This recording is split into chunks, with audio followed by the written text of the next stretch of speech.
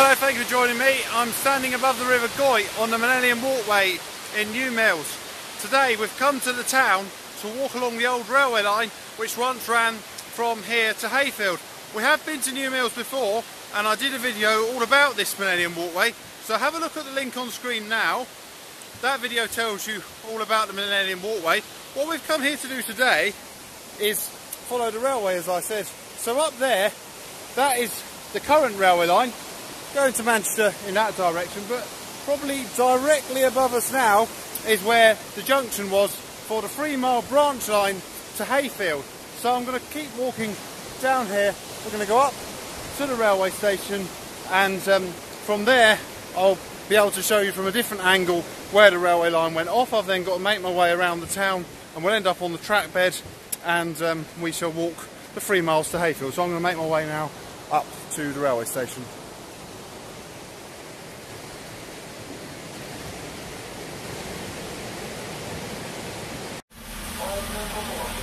So here we are at New Mills Central, complete with a pacer, coupled to a 150, about to work a train service to Manchester. Now just beyond the platform, there's a reversing siding, so the terminating trains go into that siding to let other trains pass. Now if we look this way, under the lattice footbridge and the road bridge, you can see two tunnel mouths. Now the one on the left, that is the old Hayfield branch. That's a branch we're going to be walking up although um, at this stage we won't be able to walk through the actual tunnel and then the other tunnel tunnel um, on the right is the one which is still um, an operational railway. The railway closed in 1970. I'll get more onto when it opened as we go up the railway. There was talk of it being a heritage line. Now, had it been a heritage line, you never know. These pacers might have ended up working on it. So I'm going to let the pacer go off to Manchester going to find my way over the town and we'll go and find the other end of that tunnel, or as close as we possibly can get to the other end of that tunnel.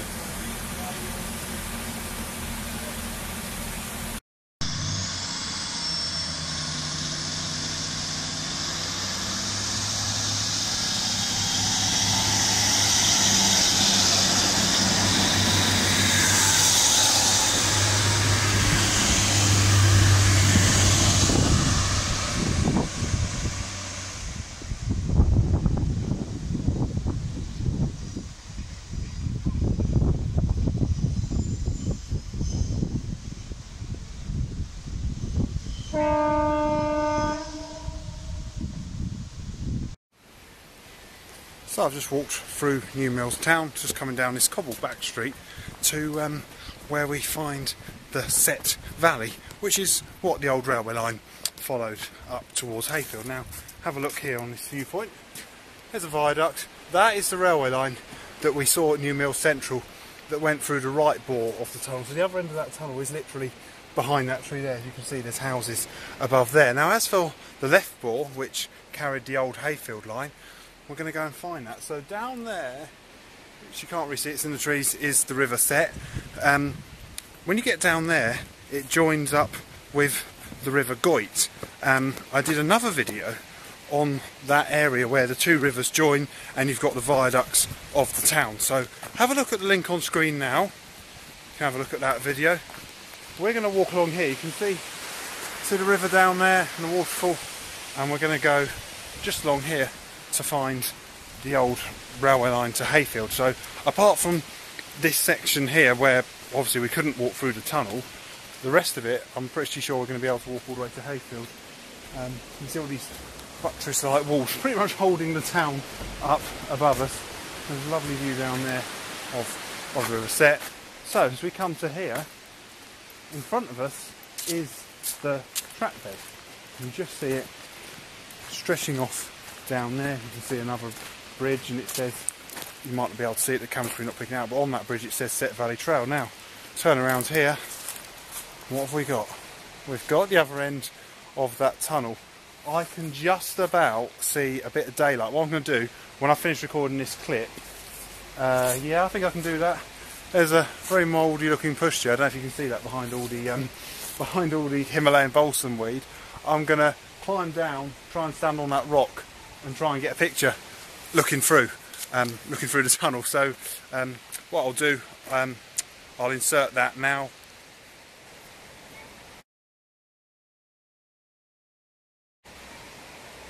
So there's the picture I took after filming this shot. Um, yeah, a bit complicated, I know, but that's how I did it. We're going to go over the bridge now, um, over the river.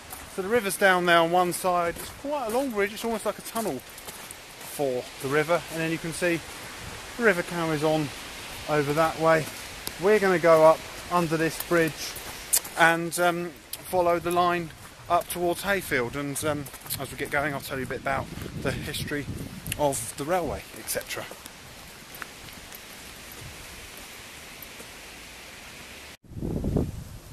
So this bit of the old railway, it looks rather different to um, what I was imagining. They've built a doctor's here on the old railway track bed now, and they've also filled it in. So where I'm standing, I'm pretty standing about where the roof of the train would have been, or maybe perhaps a bit lower actually. Have a look here though.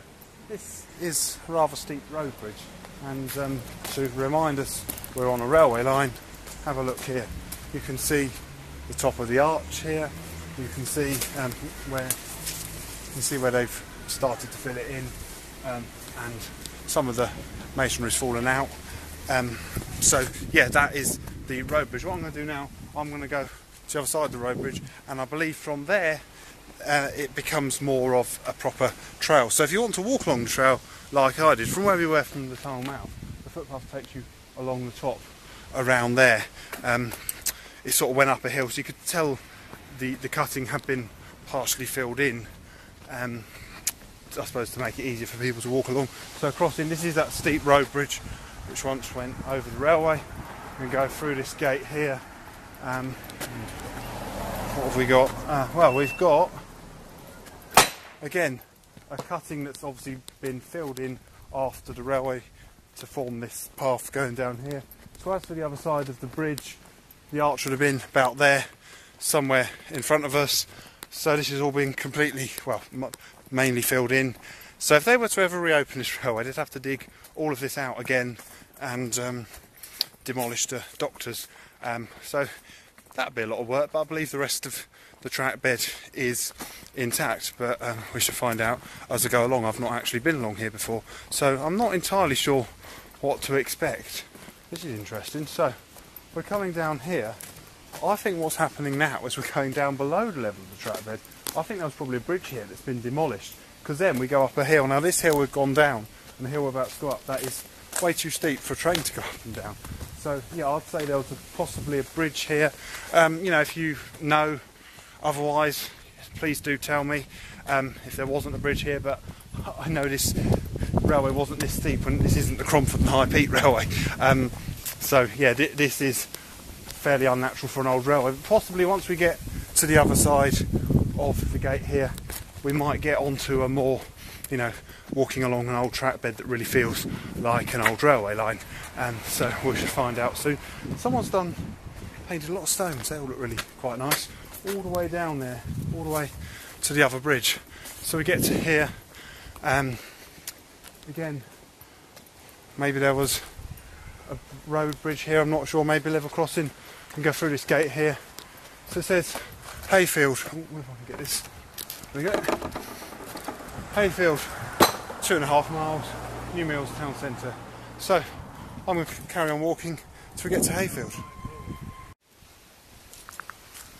So now we've left the outskirts of New Mills and it really does feel, you know, like we're walking along an old railway, walking at track bed level, not filled in or dug out um, as we found back there. So as for this railway, as I've said, it's not a very long line. It's only a three mile branch line. It was opened in 1868 by the Manchester, Sheffield and Lincolnshire Railway. They later went on to become the Great Central Railway.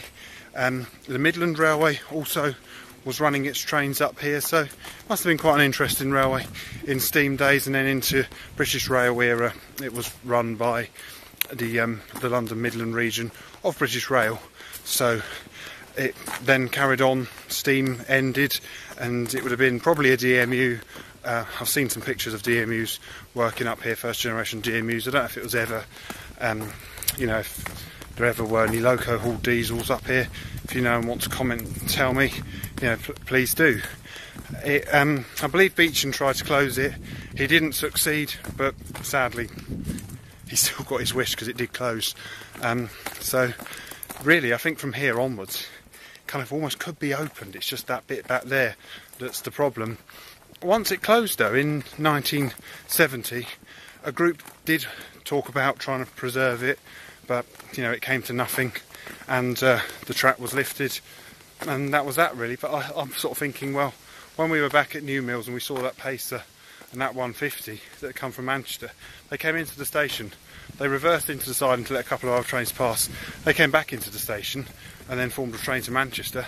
They almost might as well have just carried on up here to Hayfield, and you know, so as things go, maybe one day they will return the railway to Hayfield. But until then, it's a rather pleasant footpath. I'm going to carry on walking. Next intermediate station we're going to go and find is Birch Vale. So we'll keep walking till we get to Birch Vale station. I'm now about halfway along the railway and we're just coming up to a survivor of the original railway. Here we have a crossing keeper's cottage and if we have a look at the sign New Mills one and a quarter miles, Hayfield one and a quarter miles, Hayfield Road an eighth of a mile up the hill, Thornsett a quarter of a mile down the hill. So yeah, here we are uh, with a railway keeper's cottage, um, cobbled road going down. So across the railway line here. I just thought I'd show you that because it is um, a surviving building from when the railway was first built. So what I'm going to do now, I'm going to continue on walking down here. Won't be too far now till we come to the other station, the intermediate station, Birch Vale, and then we'll carry on till we get to Hayfield. I'm now approaching the site of Birch Vale station. So as for the actual track bed, it'd have run probably somewhere just to the side of me there and gone across a skewed bridge over the road here. So obviously all that's been demolished and it's just the path really to take us through. So what I'm going to do, I'm going to go over the road here through the gate on the other side of the road. So if you imagine looking there now, imagine a bridge crossing there and I believe the entrance to the station would have been about where this gate is here. So going to go through this gate and um, what I think I'm going to actually do is walk across where the track bed would have been. Is that gate going to close itself? Yep. So I think to get onto the platform, you'd have walked straight up a path there. There was only one platform. So what I'm going to have to do, because this is how the path goes, I'm effectively walking through where the bridge would have been. So you can clearly see the track bed just there, but the abutment of the bridge has gone and um, the road goes up there into the village of Birchvale. It's a very small village, um, there's not a lot there, but it was the intermediate station on the three mile branch line. So about now, I'm probably standing um, where the track bed would have been, although the trains are moving a bit above my head still. So we go up here and uh, we should have a look at the site of the station. For I understand, there's nothing left of the station at all, but we can um, try and imagine what was there. Oh, here we are, that is something to tell us. It was a station. The sign says Birchvale Station, so that's quite good. At least um, anyone walking along at least knows it was a station. So we get to here, walking back onto the railway track bed now. I think the platform would have been along here. So imagine the platform stretching out in front of us. There'd have been a small waiting shelter, and then on this bit of land here, there'd have been a couple of sidings and a good shed. Can't have gone any further really than just behind those trees because there's some Victorian houses. So I'd say about now I'm probably walking where the train would have been and the platform would have been probably just in where the trees were. I cannot see though that there's anything left um, to remind us of it apart from really that sign back there saying Birch Vale Station. Now if you have a look here they've built some newer houses so if you can see them, I know it's hard to see but through the trees I can see what are definitely some newer houses. They've been built on the site, the goods shed. If they ever reopen the railway, well you could definitely put a single track and a platform in but I suppose the way things are, there wouldn't be a requirement for a goods shed again. So as I get to here, probably about somewhere around here. I'll be walking off the end of the platform, or I'll be stepping onto a train and just pulling out the station. Um, in the latter days, I said that would have been first generation DMU, and um, I'd have enjoyed the next um, mile, mile and a quarter to the end of the line at Hayfield.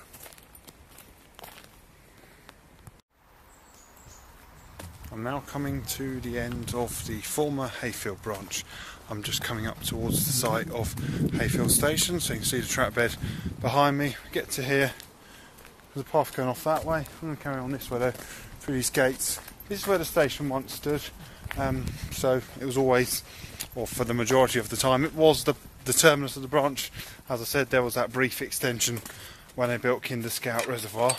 Um, but for the majority of the time it has been the terminus of the branch line up from New Mills. So it really is quite a pleasant little walk up from New Mills. It's three miles long, so you can easily walk here and back in a day. I could walk back. Um, I'm thinking I'm probably going to get a bus back because I'm looking up at the sky. It looks like it might rain. Um, and also, if it's a double decker bus, it might be quite nice sitting upstairs, you know, enjoying the views of the area. So, as we come to here, here we come to the station site. It's now a car park, so um, yeah, not that exciting really that this was once a railway station, now it's a station car park. But in a way, what's quite nice is that people who come to Hayfield, they come here, they park their car here, and they, you know, they step into Hayfield in the same place as if they'd come by train. So in a way, that's quite nice. So you can just imagine there being possibly I'm not sure the exact layout, but there'd have been a platform somewhere, station building, um, probably a signal box at the end, few points for the in the early days for the locomotive to run round its train, um, and then head back the other way. In later years, when it was just a DMU, train would have stopped, driver got out to the other end and walked back. Have a look here though. This building here, um, and here is a bus turning circle. So what I'm going to do, I'm going to have to come back here to get a bus. But before we do that, I just thought might as well show you the village centre. So the bus turns around here. Oh, and have a look at that. There's even a silhouette of a steam train giving a nod to the site's former use as a railway station. So there's the village. You can see the church. You can see the hills looming in the distance. And um, this is the bypass, not this road here, but the road to the other side of the fence. That's the village bypass. So I'm going to take you across there. Um, I think actually I've come, yeah, this is the horses crossing, but seeing there's no horses about. That's the pedestrians crossing, this is the horses crossing. So, um, look, it even says weights, it shows the outline of someone on the horse. And I don't know if you can see that, there's a red horse, not a red man. I'm gonna, oh yeah, and there we go. There's the green horse. And that probably would be my bus. I'm probably gonna have to miss that one and get the next one. Because um, I just want to show you a little bit of Hayfield Village. Um, but the buses are fairly regularly, so if I miss this one, it doesn't matter. Give me a chance to go and have a pint in one of the pubs. So we get to here. The village is that way. I'm going to take you through the churchyard, through St Matthew's churchyard, so we can have a look at the church. So we come into the churchyard here. See the path is former gravestone. There's the church tower. So I'm going to go around here and um, just show you the heart of the village. So show you what there is on offer because it really is. To me, I've driven through this village. I have stopped in the past. and always thought what a nice place, but I've never ever got round to walking the old railway line, now known as the Sett Valley Trail. I've never got round to doing that. So I'm just taking you there through St Matthew's Churchyard. I'm looking up the village that way. When it come to here, this is the very heart of the village, and it's very attractive and picturesque. Um, no cars coming. I can show you one view here. Now we have the War Memorial, the Royal Hotel, and there's the river down below us. Now if we pan round, there's St Matthew's Church, whose churchyard we just walked through. But across here, we'll go over the pedestrian bridge over the river because I think the view you get from this bridge is really nice. Well, from this side, got some rather nice flowers, but have a look down there. Must be nice. Imagine living there, you've got a river at the back of your garden. But this isn't where I want to finish the video. I'm going to carry on down there um, and show you a really nice, really beautiful little um, area around the back of the buildings. in Hayfield. So again, we're here in the village centre. Place I want to show you is just on, just past here. So it says, maybe I'll see there's a sign there. Um, I'll show you what that says in a second, as soon as we get there. Memorial Gardens. Now these aren't just any old memorial gardens, they're a bit different to what you might expect. So go down these steps. We go around this corner. And the first glance you think, oh, it's unusual. There's like um, a pool of water. Complete with a load of mallard ducks. It's actually a waterfall on the river. So where we were a moment ago, we were up there on the bridge. All these ducks seem very keen to be on camera. And then you've got a rather spectacular waterfall going off the edge. And then this is the Memorial Gardens going down here. So I'll take you down here. Look at that though, that is just a really cool area behind the back of the houses here in Hayfield. I really like that. I'll take you down here. And here I really cannot go any further. So here we are in the middle of Hayfield below a rather large weir. So I hope you enjoyed this video. You know, if you're out this way, why not come on the train like I did from Manchester, walk up the old railway, you could have a drink here and then walk back or get a bus back. Um, haven't decided yet what I'm going to do. Definitely going to have a drink now. May walk back, I might get a bus back. But you know, why not come and do this day out for yourself? I've really enjoyed it. Thank you very much for watching. Please do feel free to like, subscribe and comment from the Memorial Gardens in Hayfield. Thank you very much for watching. Goodbye.